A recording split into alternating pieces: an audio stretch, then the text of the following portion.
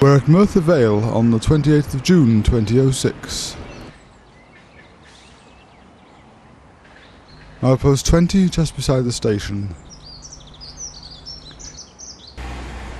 This is looking north from the road overbridge towards Troy Just by the ramp down to the platform there's an electrical power cabinet and a thing that looks like a, one of Arriva's uh, CIS things.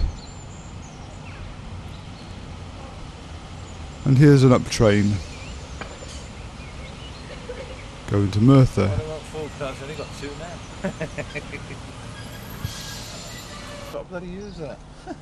We're wandering off the platform end now, looking for a suitable location for the double to single turnout. And that ain't going to give you 200 metres, is it?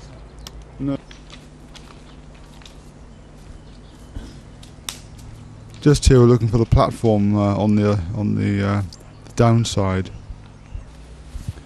This is taken from the end of the old down platform ramp.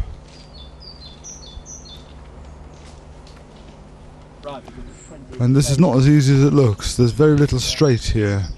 It's almost all curves, one curve after another, with a tiny bit of straight.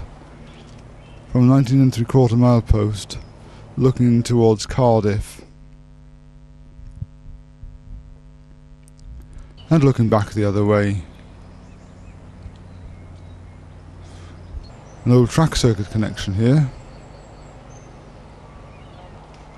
A bit further down towards Cardiff, uh, the curve continues.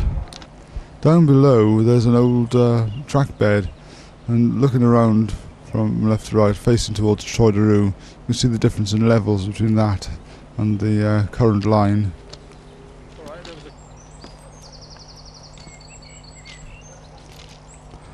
John's having a look to consider the possibilities of doing something like slewing things a bit to make it a bit straighter so we can get something in. But we're going to be stuck with a reduced overlap at this end, I think.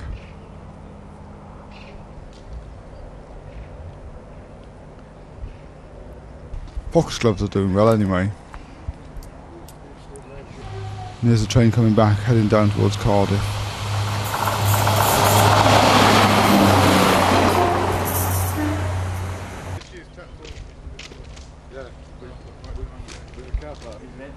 Back in Merthyr station you can see the state of the platform wall.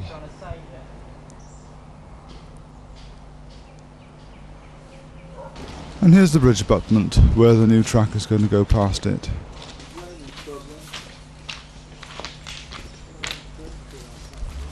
And here's the only access anywhere in the area. Looking down under the footbridge towards Cardiff.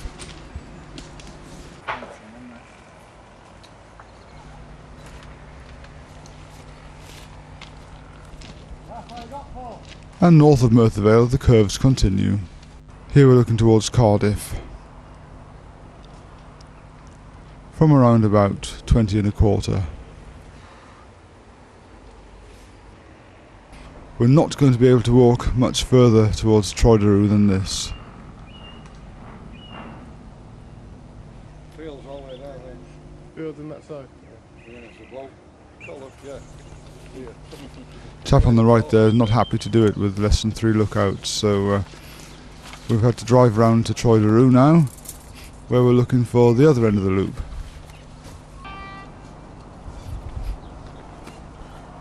This is actually much easier, there's much more of a straight here.